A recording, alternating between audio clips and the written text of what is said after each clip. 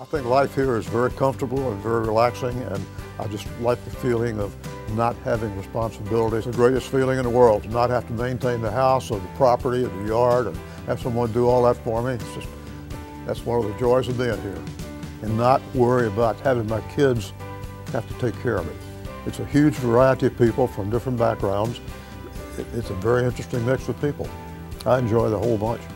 You don't want to wait too late to get in here.